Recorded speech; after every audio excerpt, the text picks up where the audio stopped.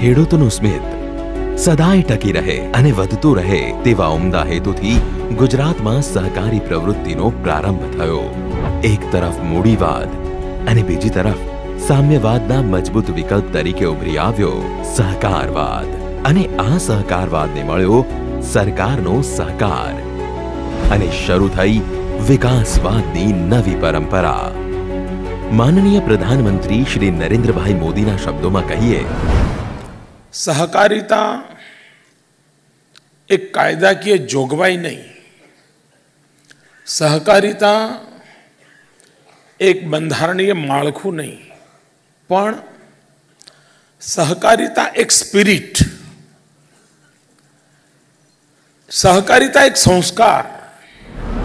પ્રધાનમંત્રીશ્રીએ સહકારના આ સંસ્કાર અને સ્પિરિટને વધુ સક્ષમ, સહજ સરળ અને સર્વવ્યાપક બનાવવા, સહકારી પ્રવૃત્તિ અને સહકારી આંદોલનને રાષ્ટ્રવ્યાપી બનાવવા સહકાર મંત્રાલયની રચના કરી.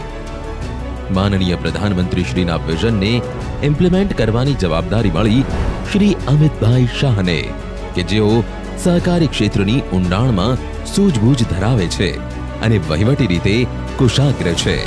ભારતની એકતાના પર્યાય એવા સરદાર વલ્લભભાઈ પટેલની દીર્ઘદ્રષ્ટિના કારણે વિદેશી ડેરી સામેના અસહકાર આંદોલન થકી ગુજરાતમાં દૂધ ક્ષેત્રે સહકારી પ્રવૃત્તિ શરૂ થઈ અને જેમાં નિમિત્ત બન્યા ત્રિભુવનદાસ પટેલ જેવા તપસ્વી સહકારી આગેવાનો. ચોવીસ દૂધ સંઘો, છત્રીસ લાખ સભાસદો, દરરોજનું બેથી બે પોઈન્ટ પાંચ કરોડ લીટર જેટલા દૂધની પ્રાપ્તિ અને દૈનિક રૂપિયા એકસો પચીસ કરોડની પશુપાલકોની ચુકવણી થકી થયો. ગુજરાતની ગ્રામીણ આર્થિક સમૃદ્ધિમાં વધારો. પરિવારની બમણી આવકની સંકલ્પના ચરિતાર્થ થઈ. ઘરની આર્થિક પ્રવૃત્તિમાં પુરુષ અને મહિલા બંનેની સહભાગીદારીતા થઈ. મહિલા સશક્તિકરણ અને સર્વાંગીણ સમૃદ્ધિના ફળ.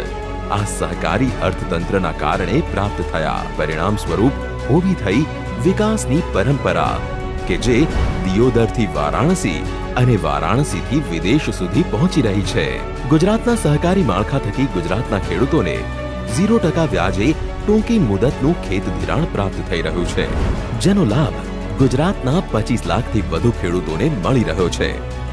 For the farmer by the farmer અને ઓફ ધ ફાર્મર તરીકે કાર્ય કરતી રાજ્યની બસો ચોવીસ બજાર સમિતિઓમાં ખેડૂત પ્રતિનિધિઓની સંખ્યા આઠના બદલે દસ કરીને ખેડૂતના અવાજને આવકાર આપવામાં આવ્યો છે.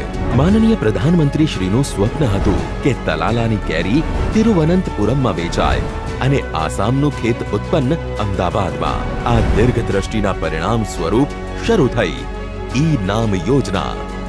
આજે ગુજરાતની એકસો બાવીસ બજાર સમિતિઓ ઈ નામ સાથે જોડાઈ છે.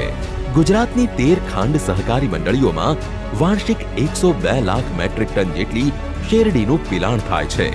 આ ખાંડ સહકારી મંડળીઓ સાથે ગુજરાતના ચાર લાખ પચાસ હજાર ખેડૂતો જોડાયેલા છે. કોરોનાના કપરા કાળમાં રાજ્ય સરકાર દ્વારા આત્મનિર્ભર ગુજરાત સહાય યોજના હેઠળ શ્રમિકો, નાના વેપારીઓ અને કારીગરોને કોઈ પણ જાતના તારણ વિના રૂપિયા બે હજાર પાંચસો કરોડની લોન આપવામાં આવી. આજે માનનીય પ્રધાનમંત્રી શ્રી પ્રાકૃતિક ખેતીને એક આંદોલન સ્વરૂપે સમગ્ર દેશમાં પ્રસરાવી રહ્યા છે. સહકારી માળખાએ આ વિચારને આચારમાં લાવી એક ઉચ્ચારે આ વાત સ્વીકારી છે અને પરિણામે ગુજરાતમાં પ્રાકૃતિક ખેત ઉત્પાદક સહકારી મંડળીઓની રચનાની શરૂઆત થઈ છે. ગુજરાતની સહકારી પ્રવૃત્તિ હવે બિન પરંપરાગત ક્ષેત્રોમાં આગળ વધી રહી છે અને માનનીય પ્રધાનમંત્રી શ્રીએ ગ્લાસગો ખાતે યોજાયેલ સીઓપી છવ્વીસમાં કરેલ સંકલ્પને પરિપૂર્ણ કરવામાં પોતાની નાની પણ મહત્વની ભૂમિકા અદા કરી છે.